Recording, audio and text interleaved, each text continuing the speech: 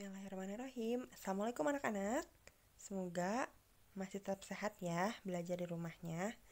Nah anak-anak Untuk materi fikih yang sekarang Ibu akan membahas tentang taklid. Nah taklid itu. Taklid itu apa sih? Nah coba kita lihat pengertian dari taklid itu sendiri ya. Nah taklid adalah Taklid nih adalah penerimaan perkataan seseorang sedangkan engkau tidak mengetahui dari mana sumber perkataan tersebut. Nah, itu ya secara umumnya. Adapun menurut Muhammad Rashid Ridho, taklid ialah mengikuti pendapat orang lain yang dianggap terhormat dalam masyarakat serta dipercaya tentang suatu hukum agama Islam tanpa memperhatikan benar atau salahnya, baik atau buruknya, manfaat atau madarat hukum itu. Nah, adapun nih, hukum taklid itu dibagi ke dalam dua bagian, yaitu taklid yang haram dan taklid yang dibolehkan. Nah, adapun nih taklid yang haram, ulama itu sepakat ya. Uh, ulama sepakat haram melakukan taklid ini. Nah, dan taklid ini dibagi ke dalam tiga macam. Yang pertama adalah taklid semata-mata mengikuti adat kebiasaan atau pendapat nenek moyang walau bertentangan dengan Al-Qur'an dan Al-Hadis. Nah, yang kedua nih, taklid kepada orang atau sesuatu yang tidak diketahui kemampuan dan keahliannya Nah, yang ketiga adalah taklid kepada perkataan atau pendapat seseorang, sedangkan yang bertaklid mengetahui bahwa perkataan atau pendapat itu salah. Nah, itu itu yang tidak diperbolehkan ya atau yang diharamkan.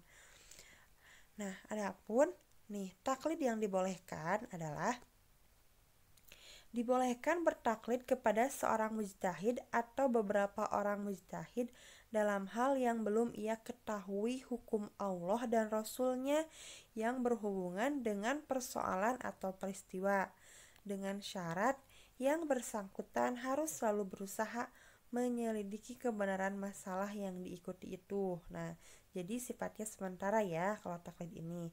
Nah, misalnya taklid sebagai mujtahid kepada mujtahid lain. Nah, karena tidak ditemukan dalil yang kuat untuk pemecahan suatu persoalan termasuk nih ya taklidnya orang awam kepada ulama. Nah itu diperbolehkan ya. Misalkan kita baru belajar agama dan kita itu e, berguru kepada seorang guru. Nah itu juga kan disebut bertaklid ya karena kita tuh misalkan e, baru ya karena orang awam atau ber, atau orang yang baru belajar agama nah itu diperbolehkan untuk bertaklid Nah, kemudian nih, ulama mutaakhirin dalam kaitan bertaklid kepada imam membagi kelompok masyarakat ke dalam dua golongan. Nih, ada masyarakat dua golongan. Yang pertama nih, ada golongan awam. Nah, golongan awam itu wajib bertaklid kepada salah satu pendapat dari keempat mazhab ya. Tahu kan per mazhab ada Hanafi, Hambali, Imam Syafi'i, ya dan seterusnya ya.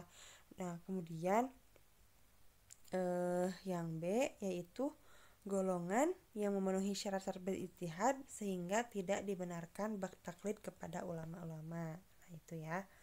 Nah, adapun nih taklid yang diwajibkan yaitu nih wajib bertaklid kepada orang yang perkataannya dijadikan sebagai dasar hujah yaitu perkataan dan perbuatan Rasulullah. Nah, jadi perkataan dan perbuatan Rasulullah itu kita itu wajib bertaklid ya kepada Rasulullah ya. Nah, anak-anak untuk materi sekarang cukup itu saja ya. Kita bahas tentang hanya bertaklidnya saja. Selebihnya nanti kita bahas minggu depan. Segitu dulu ya anak-anak.